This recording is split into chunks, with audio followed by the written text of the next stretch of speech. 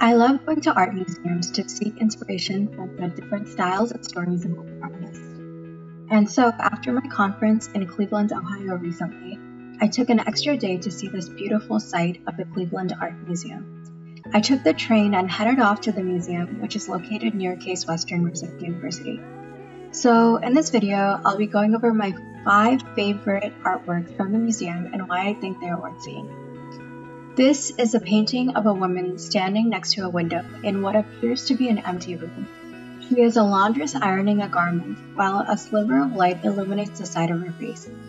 Her portrait is part of a collection of women ironing or sewing. Edward Vuillard, the painter, was inspired to make paintings like this because he watched his mother and sister making corsets and dresses in their crowded apartment.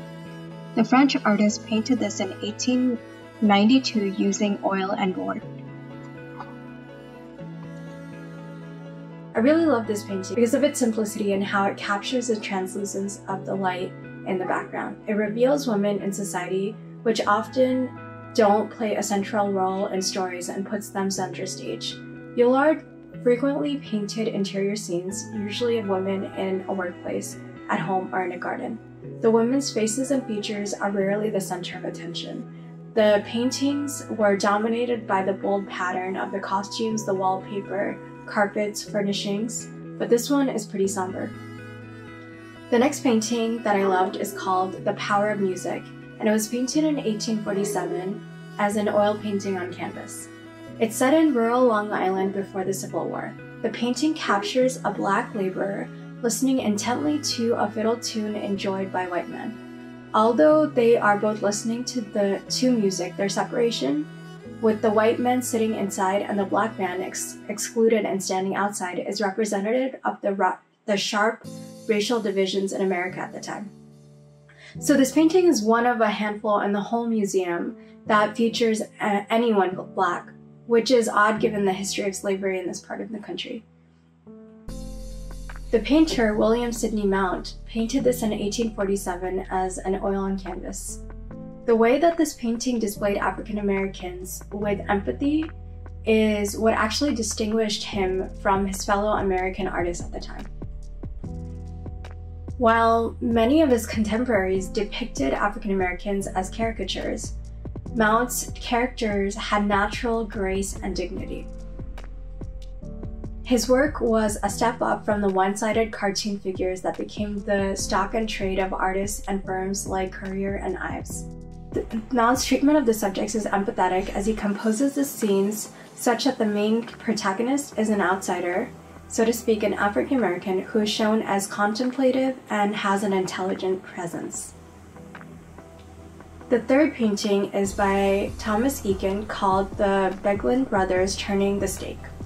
So Thomas Eakins' painting celebrates the athletic teamwork while commemorating an actual event, a famous rowing race in 1872.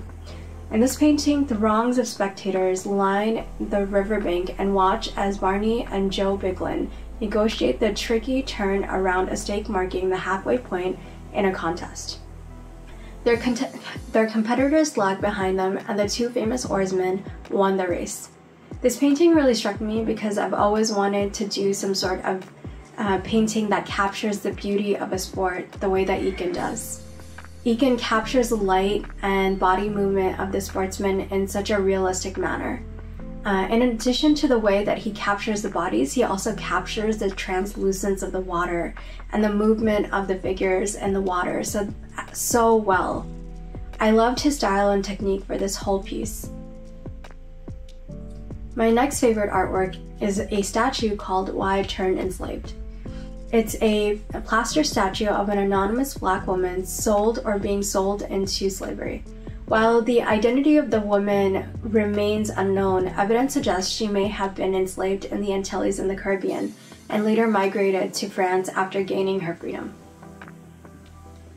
Although her personal story, voice, and name have been lost, the model quickly became the the personification of enslavement throughout the, the wide distribution of her image and continues to be viewed that way. I'm not really sure if it was meant to be this way, but it made me feel really uncomfortable seeing this in the same room surrounded by these giant statues of grandeur um, you know, from Western art. And I think the intention was meant to spark conversation, but it just made me feel very weird and small.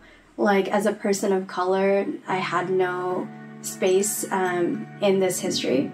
I know that they're planning on working to address the issue of racial equity moving forward.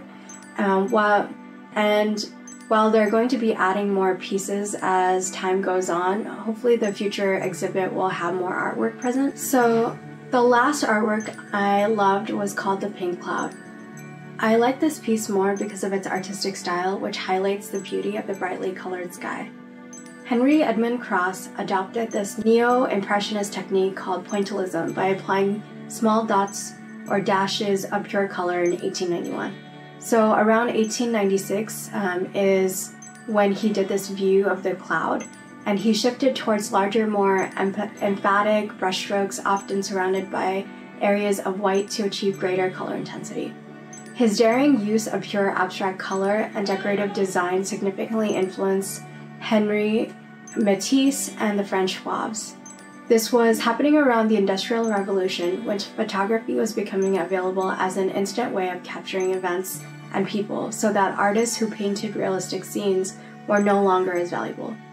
I wanted to try this style in future paintings because it really allows the artist to present their own unique perspective on a scene, rather than just trying to capture the beauty of a landscape in its most accurate detail. It draws a splash of creativity, which I think we all really need in our lives. So, there you have it, folks. These are my five favorite artworks from the museum. I'd love to know in the comments below if you have any favorite paintings that you or pieces of art that you really like. Um, yep. Hope you enjoyed this. Please like and subscribe for more videos in the future.